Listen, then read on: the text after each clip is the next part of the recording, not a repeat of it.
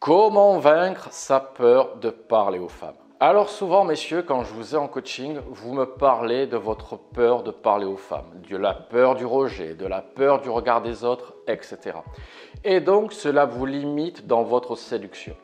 Or, généralement, en séduction, vous n'avez pas de chance puisque ce sont les hommes qui sont plutôt proactifs et les femmes qui sont plutôt passives en séduction, même s'il y a des contre-exemples. Mais si vous avez un problème pour parler aux femmes, soit à cause de votre timidité, soit à cause de la peur du rejet, vous allez avoir de gros freins en séduction. Mais on en parle après le générique.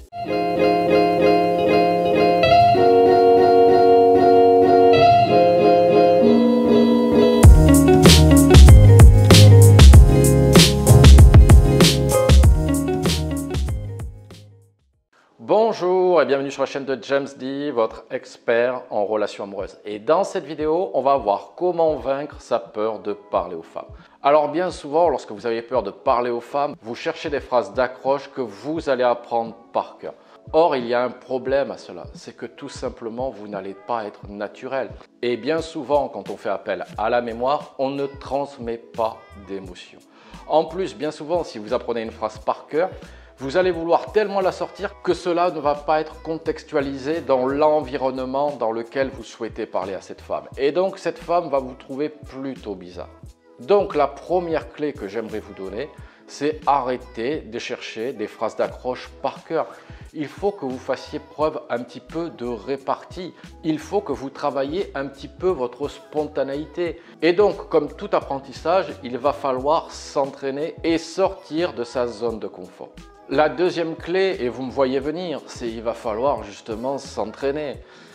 Si vous avez peur de parler aux femmes, c'est bien souvent que vous avez de l'inexpérience avec les femmes. Vous inquiétez pas, lorsque vous aurez parlé à 15, 20, 30, 100 femmes, vous allez voir que c'est très facile. Elles ne sont pas au-dessus des hommes, ni en dessous d'ailleurs. Il faut que vous parliez à cette femme d'égal à égal. Et donc pour cela, et je le vois très souvent en coaching, c'est que vous attendez qu'une femme vous plaise pour lui parler. C'est comme si vous disiez, pas besoin d'apprendre à conduire, je passerai le permis directement. Vous allez forcément vous planter. Apprendre la répartie, c'est au quotidien, c'est tout le temps que vous devez vous entraîner à parler aux femmes, alors que ce soit votre boulangère, une femme que vous croisez dans la rue, une collègue de travail, etc. Et vous verrez qu'avec l'expérience, vous allez changer votre perception sur cette peur de parler aux femmes. Vous savez, si vous êtes courtois et poli, aucune femme ne va vous mordre ou vous rejeter frontalement.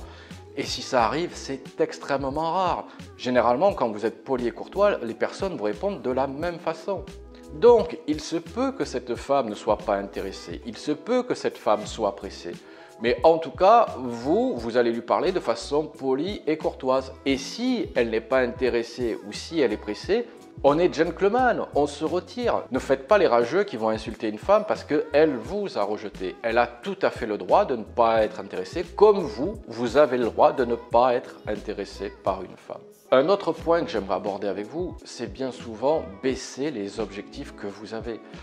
Alors, cette femme vous plaît et je sais très bien où est-ce que vous voulez amener l'interaction. Mais si vous profitiez simplement de l'interaction pour échanger avec cette femme sans se mettre d'objectif de numéro de téléphone ou de la ramener chez vous.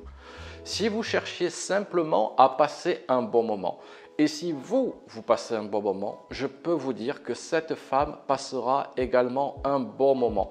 Parce que vous serez dans une bonne énergie. Parce que vous n'aurez pas d'objectif apparent.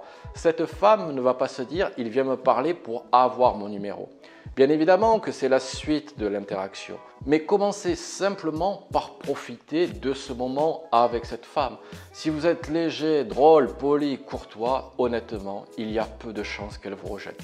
Et encore une fois, si elle n'est pas intéressée et elle a tout à fait le droit, elle vous rejettera, mais de façon également polie et courtoise. Elle vous dira par exemple, désolé, j'ai un copain. Que ce soit vrai ou pas vrai, en tout cas, elle vous mentionne à travers cette phrase qu'elle n'est pas intéressée. Donc, mettez-vous dans un bon état d'esprit pour profiter simplement de l'interaction avec cette femme. Et vous verrez que si tout se passe bien, elle vous passera mécaniquement son numéro de téléphone ou vous continuerez la soirée ensemble. Et enfin, je terminerai cette vidéo sur la fausse croyance que les femmes n'aiment pas être abordées. Les femmes, elles aiment être abordées, mais de façon polie, courtoise, mais j'ai envie de dire comme toute personne. Si on vient vous accoster de façon courtoise et polie, vous n'allez pas rejeter cette personne. Encore une fois, tout est une façon de parler. Alors bien évidemment, vous serez beaucoup mieux reçu si elle a un intérêt pour vous que si elle n'en a pas. Mais ça, c'est tout le monde. Vous aussi, messieurs. Si une femme vient vous accoster dans la rue, si cette femme vous plaît, vous allez être plutôt bienveillant, souriant, accueillant. Vous allez bien réceptionner cette façon de vous aborder. Donc, n'ayez pas peur d'aborder une femme, mais fixez-vous comme objectif de passer un bon moment. Et vous inquiétez pas que la séduction viendra naturellement.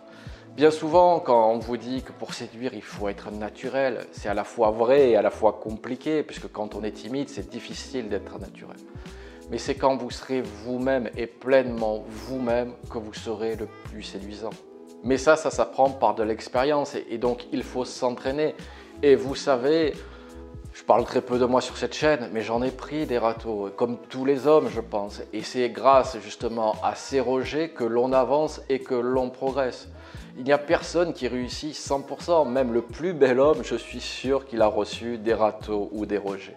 Donc, changez votre perception, arrêtez d'idéaliser les femmes. Cette femme est peut-être très jolie, mais peut-être également qu'elle sera très contente que vous veniez l'aborder.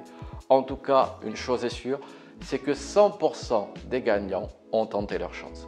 Allez messieurs, je compte sur vous. Si vous avez aimé cette vidéo, n'oubliez pas le classique pouce bleu, abonnez-vous à ma chaîne et je vous dis à très bientôt avec James D.